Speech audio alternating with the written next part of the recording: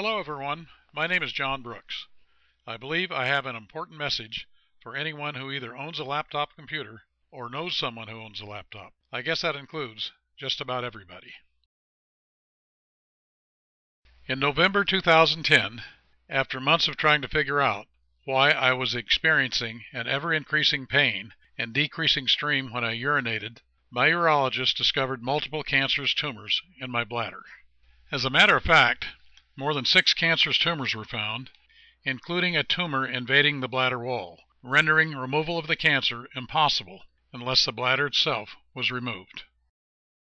At that same time, I was also experiencing a stomach ache that was becoming more and more persistent. In April of 2011, a PET scan detected and a pathology report confirmed that I also had stomach cancer. With this last medical diagnosis, my suspicions that EMF radiation from my laptop computer was responsible for my contracting multiple cancers were confirmed.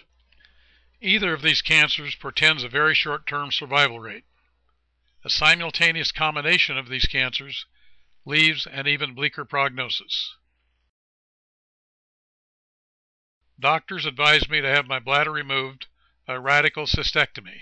It is considered standard treatment for bladder cancer that has invaded the bladder wall. Radical cystectomy includes the removal of the bladder, paravesical tissues, prostate, and seminal vesicles in men, combined with chemotherapy and radiation. This procedure necessitates the need for an external urinary appliance and results in loss of sexual function. The penis becomes a useless appendage. Stomach cancer treatment includes partial removal of the stomach, chemotherapy, and radiation, and possible insertion of a feeding tube as the cancer progresses. Given the bleak prognosis, I have opted for alternative treatments to date, with limited internal bladder surgeries, three as a matter of fact, and no chemo or radiation. So far, I've held my own for one year. Most men make plans for the months and years to come when they are in good health, as I was before the onset of these cancers. Currently, I make only very short-term plans, no longer than one month out. I live under a virtual sword of Damocles, fearing that it is not a matter of if, but when, will my health begin its downward spiral of ever-increasing pain and failing health. As of this date, there has been no cause of action filed, and therefore there are no named defendants. I wrote both the computer manufacturer and the chain store retailer CEOs and detail the medical history of my cancers and the evidence, much as we will do here. The chain store retailer did not bother to respond. The manufacturer of the laptop computer did respond. Here is a copy of the letter of denial for my request for a dialogue written by legal counsel of the manufacturer of the laptop. Defendant names have been redacted for temporary protection of the guilty.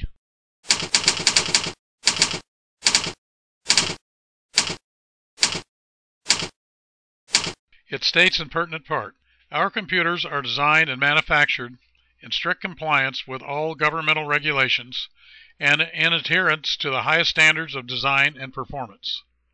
I can say that there's no credible study or evidence regarding a causal relationship between cancer and EMFs emitted by computers. I am afraid that a dialogue, as you request, would not be productive or helpful. Since the computer retailer does not need to even respond, and the laptop manufacturer does not believe a dialogue with me would be productive or helpful, perhaps a dialogue with the rest of the world will render a meaningful result. With that in mind, Let's let the pretrial hearing begin.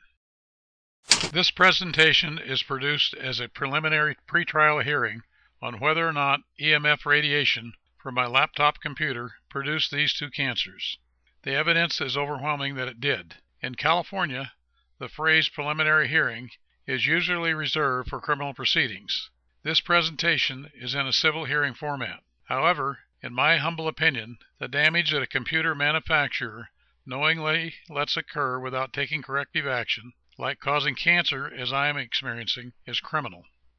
They might argue that they did not know, but the evidence will show that they should have known because I told them and sent them the evidence. Our evidence will be overwhelming to a criminal standard. that is beyond reasonable doubt, rather than a civil showing of a preponderance of the evidence.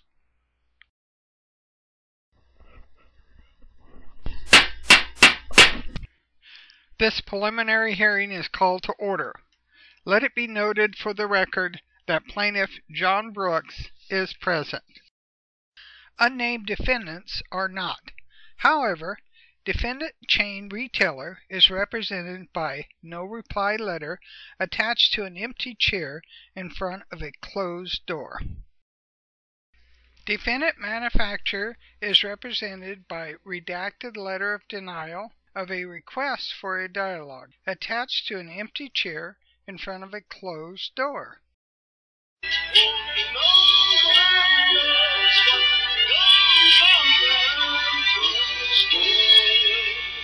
Unnamed manufacturer defendants made three significant points in their defense. Number one, their computers are designed and manufactured in strict compliance with all governmental regulations and in adherence to the highest standards of design and performance. 2. There is no credible study regarding a causal relationship between cancer and EMFs emitted by computers. 3. There is no credible evidence regarding a causal relationship between cancer and EMFs emitted by computers. Plaintiff, do you have an opening statement? Yes, I do. In September 2007, I had knee replacement surgery on my right knee. Evidently, the surgeon had never heard of the old carpenter adage to measure twice and cut once, and as a result of his lack of care, the right leg after knee replacement was about an inch longer than the left. Also, the flex in the knee was at least 20 degrees less than required for normal gait. Quiet in the hearing room, or I'll clear the room.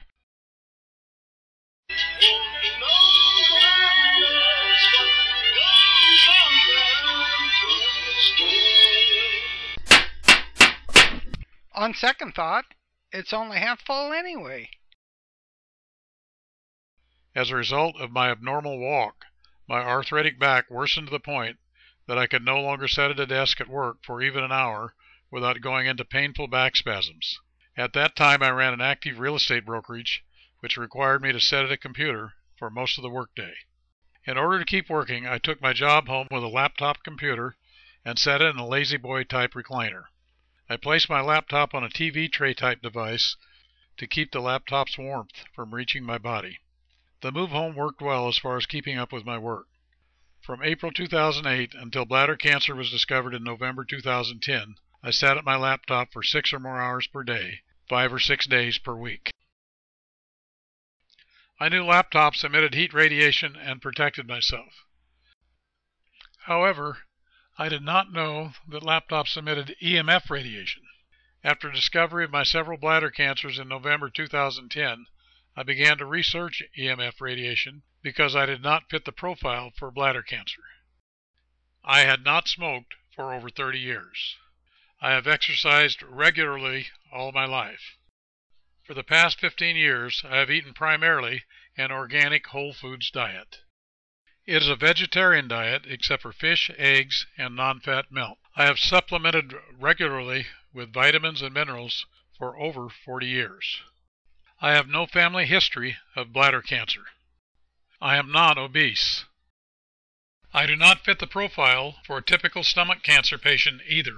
In addition to the factors mentioned above related to bladder cancer, I had tested negatively for H. pylori bacteria infection. No family history of stomach cancer. Never experienced gastroesophageal reflux disease, GERD. It simply doesn't add up that I would contract these two cancers simultaneously. Consider these facts. The approximate population of the United States in 2010 was 312 million 500,000. Across the U.S., there were 69,250 new cases of bladder cancer. Therefore, the odds of someone contracting bladder cancer in the U.S. was 69,250 divided by 312,500,000 equals 0.0002216. Similarly, there were 16,900 cases of stomach cancer in 2010. The odds of contracting stomach cancer were therefore 16,900 divided 312,500,000 equals 0.00005408. To calculate the odds of contracting simultaneous independent cancers, we multiply the two percentages, 0.0002216 times 0.00005408 equals 0.0000001119. If we take this factor and multiply it times the population of the U.S., we arrive at the number of persons we would expect to contract these two cancers simultaneously. That number is 4.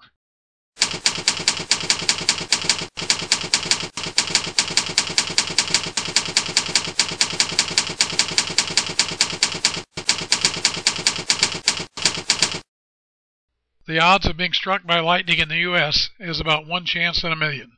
The odds of contracting simultaneous independent bladder stomach cancers is one chance in 78 million. Incredibly, you are therefore 78 times more likely to get struck by lightning than to contract these two cancers simultaneously.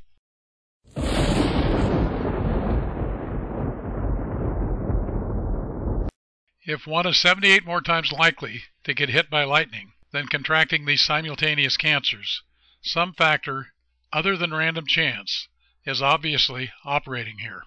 The root cause of my bladder cancer and stomach cancer have a common source, and my nutrition, physical activities, and family history are not suggestive of any contributing factors. On the contrary, when you factor in all the positive history mentioned prior, the odds of my contracting simultaneous bladder stomach cancers is reduced and approaches one chance in a billion. We are left with but one conclusion. Some external force was acting on both the stomach and bladder simultaneously. From the distance where I placed my laptop on the TV tray to my body at both the bladder and stomach levels measures about 2 to 3 inches. The only identifiable external source acting on both my stomach and bladder were electromagnetic fields, EMFs. EMFs are measured in milligauss.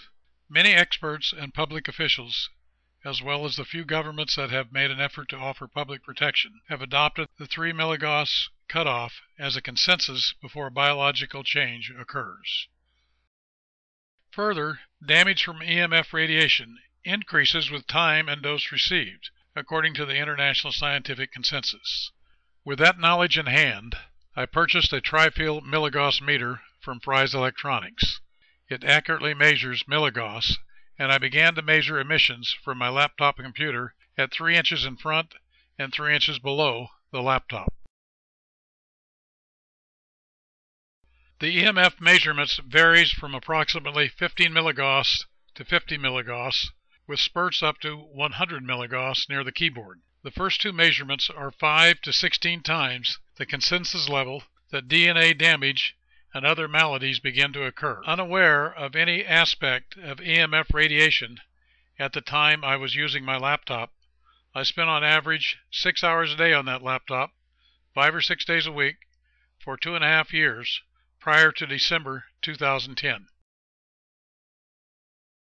Counsel for the unnamed defendants, I am living evidence of the dangers of EMF radiation from laptop computers. Your laptop caused my stomach and bladder cancers. We have been shown what caused my cancers. Now we will turn to how the EMF radiation acts to cause cancer. Here are some excerpts from the testimony of Professor Martin Blank, Professor of Physiology and Cellular Biophysics, College of Physicians and Surgeons, Columbia University, submitted on behalf of respondents on the application of PATH, Allegheny, Virginia. See footnote 1 for the URL address. In assessing the potential biological impact and risk of exposure, one would generally turn to the safety standards set by professional agencies such as ICNIRP and IEEE. However, the standards set by these agencies are unrelated to biological thresholds. They are based solely on the heating of tissue that results from the energy. The stress response at the cellular level has shown activation at very low levels, and DNA single strand breaks in the extra low frequency range have shown that damage is possible. It is therefore possible for weak electromagnetic fields to cause electron movements in DNA that redistribute charges and trigger large molecular rearrangements, like DNA splitting. Cancer is generally believed to result from DNA damage, mutations, and it is the ability of electromagnetic fields to cause DNA damage by various mechanisms. The 3 to 4 milligauss figure has been widely accepted as providing practical guidance for a reasonable level of safety, but it does not indicate safety below that level of reactions. Professor Blank's credentials, shown in the transcript of this testimony, indicate that he is one of the foremost authorities on EMF radiation. He has 20 pages of background credits for his work in the EMF field. In my mind, he is a true hero of the past 30 years. It would be an honor to shake his hand someday.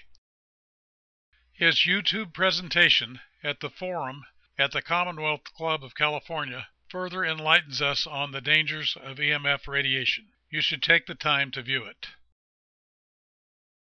Well, there we have it. The evidence that electromagnetic field radiation caused my multiple cancers beyond any reasonable doubt.